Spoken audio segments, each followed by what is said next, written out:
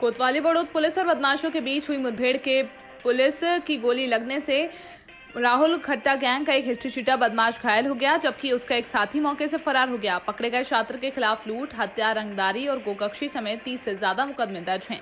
फ़िलहाल पुलिस ने पकड़े गए बदमाश के पास से एक स्प्लेंडर, मोटरसाइकिल और एक तमंचा बरामद किया है और वे 2015 में नोएडा से पुलिस कस्टडी से फरार हो गया था। कौन बदमाश है क्या इसका है? ये जनपद बागपत का टॉप टेन अपराधी था, जो एक अंतर्राज्यीय अपराधी है, शातिर और दुर्दांत अपराधी था, राहुल खट्टा गैंग का, जिस पर लगभग ढाई दर्जन मुकदमे हैं, जिसमें से हत्या, लूट, डकैती, गैंगस्टर के धाराओं के मुकदमे हैं। ये 2015 में नोएडा से पुलिस कस्टडी से भी फरार हुआ था। ये आज बड़ौद थाने की जो पुलिस हमारे इंस्पेक्टर की नेतृत्व में चेकिंग कर रही थी, इसमें दो लड़के आते हुए दिखे थे, उनको रोकने का प्रयास किया गया। पुलिस के ऊपर इसने फायर किया और पुलिस ने आत्मरक्षा फायर किया जिसमें एक अपराधी पकड़ा गया जिसका नाम मोमीन है। दूसरे की तलाश जारी है काम्बिंग जारी है।